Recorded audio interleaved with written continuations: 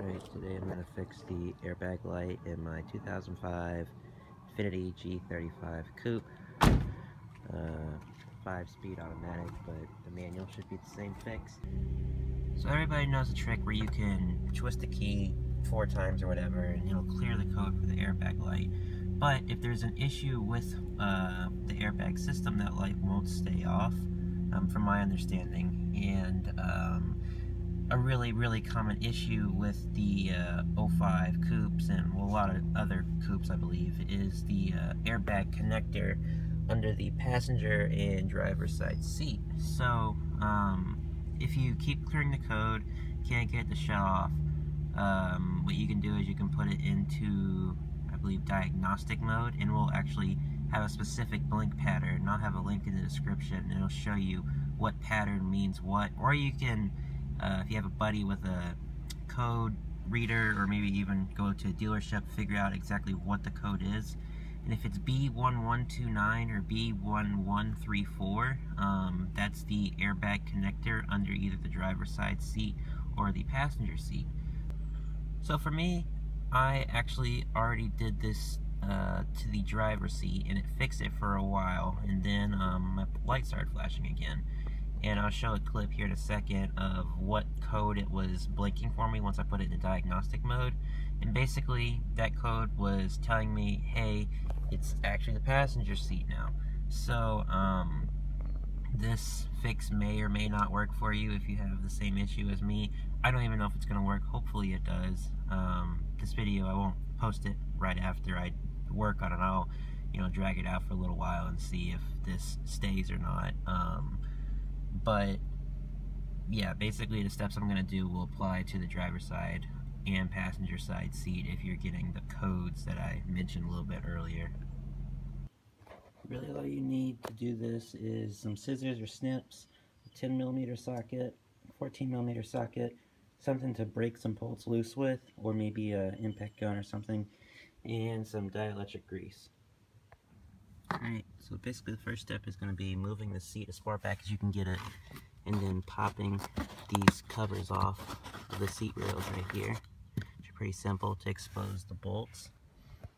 Then you're going to get your 14 millimeter socket and your device of breaking it, and uh, you're going to try to break it loose. So then we're going to move the seat as far forward as we can, and then pull these guys out and do the same step and break these bolts loose. Alright, one of the first and most important step is going to be actually disconnecting the battery and letting it sit for about three minutes. Alright, so the next step is to just lift the seat up since we unbolted it and uh, get out all the old receipts and apparently acorn from the previous owner and uh, look for this yellow connector right here. So basically, this yellow connector right here is pretty much the one giving us the code. A couple of years ago, these cars had a recall on them, and Infiniti's instructions was to actually epoxy the wires into the connector and zip tie the connector together. And what a lot of people, um, from what I found on the forums, believe is that when you epoxy that connector together and zip tie it like that, it doesn't really um, allow for any movement during like heat or cold.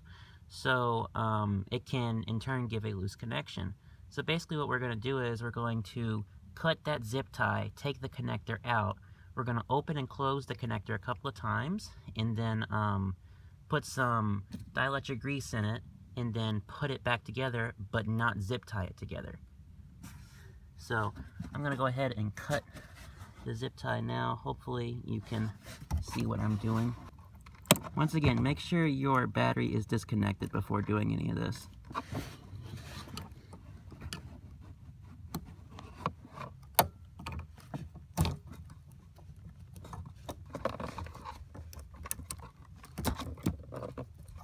Alright, hopefully you guys can still see. Um, so basically all you do is you pull on this white part right here and then it should disconnect the two pieces of the connector. So what you want to do is first of all, just look inside of the connector. Make sure there's nothing odd looking or loose in there. Put, give the wires nice good push in there.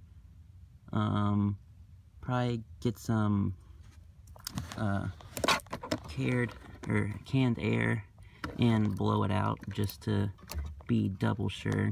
Um, and basically just sit here and put the connector back together and then disconnect it and put it back together and disconnect it and repeat that like five or six times. Alright, so I'm not sure how well my iPhone camera will pick it up, but I've caked this connector pretty full of uh, um, dielectric grease and ran it in and out of its socket probably five or six times at this point. So what we're going to do is plug it in the last time, um, go ahead and connect it back to this bracket right here, um, but don't zip tie it. Zip tying it was what a lot of people think hurt it in the first place. Alright, so once you get the connector back in there and buttoned up but not zip tied, what we're going to do is connect the battery back into position. Alright, so now before we start it, we're going to clear the code like we had previously, where you sit here, wait for the airbag light to go off, and pull your key out and then do it again. Repeat that about four times. And then basically just start it up and you see there's no airbag light on right now and um, pretty much the test is going to be driving it around for a little while um, seeing if it pops back on. If it does, put it back in diagnostic mode, see if you can figure out what exactly the issue still is. In my case, I did the driver's seat. The light didn't come on for like almost 200 miles, 150 miles, and then um, out of nowhere the light came back on. So then I put it back in the diagnostic mode and figured out it was the passenger seat and, uh, you know, obviously I just did that. So, fingers crossed my light won't pop back on. If it does, uh, you know, I will show it in the end of this video and kind of show where I go from here. If not, uh, you'll probably see an update from me a while later letting you know pretty much the scoop.